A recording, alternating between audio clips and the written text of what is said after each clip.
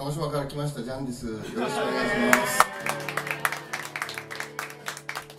最初はあのえっとですねあの古代の人は巨石大きな石をどうやって動かしてたかっていうと歌って動かしてました。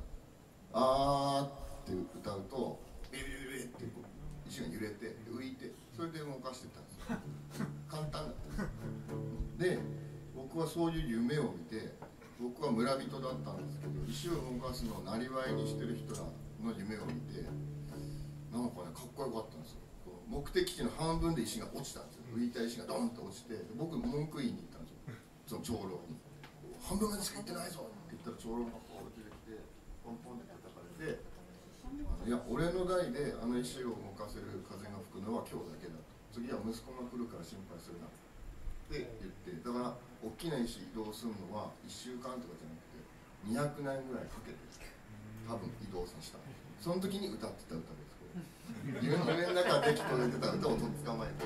サビは「あー」なんて簡単です。どんな音でも不協和音であればあるほどいいですねこれは「あー」って石を動かす歌です。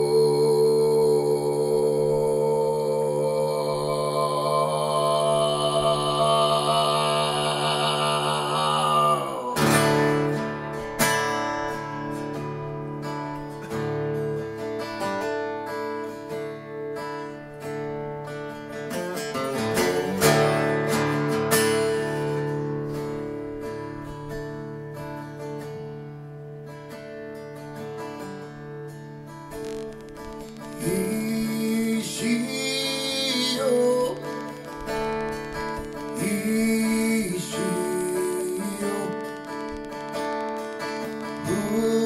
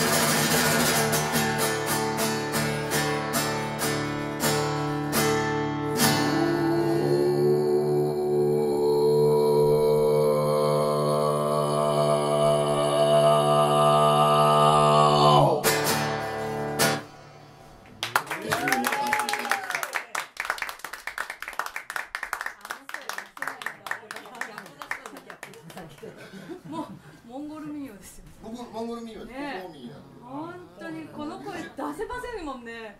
YouTube 先生で覚えました僕。ハンドゥフォーミーで覚えましたよ YouTube 無理。覚えたっていうか出ないっすそんな。びっくりするでしょ？名古屋ですよ。すごいね。美空ひばりがほんのちょっとだけ入れて